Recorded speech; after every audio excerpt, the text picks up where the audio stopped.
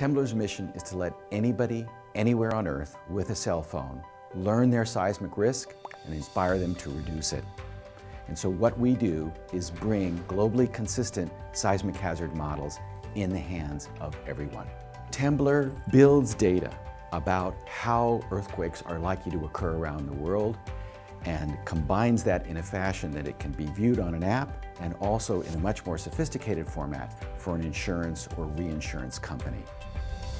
There's about a half a trillion dollars of uninsured earthquake risk around the world. We are not prepared, not in California and not anywhere else for earthquakes. And so until people understand what the potential losses are for them and how they can reduce them by strengthening their home or getting insurance, these disasters are only going to get worse and worse. And so our effort is to help people see that and to help insurance be able to insure that. So a person opens the app, it finds your location, it goes out and gets attributes of your home, it considers all earthquakes large and small, near and far, and it tells you what size of earthquake you're likely to experience in your lifetime and what the financial and safety consequences of it are. And just by pushing this button, you see what happens if you retrofit your home.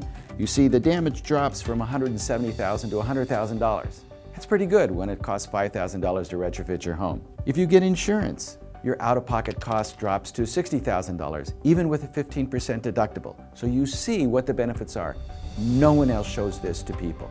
This is the decision people need to be able to make. They need this information. And if they say, okay, I want to get insurance, they come here and they see insurers and they just click the button and the next thing they do, they're calling them on the phone. So with a few clicks, with a few screens, they're taking care of the problem. That's why it's important for Temblor to inspire people to make themselves safer. Not just to be aware of it, to actually take the actions.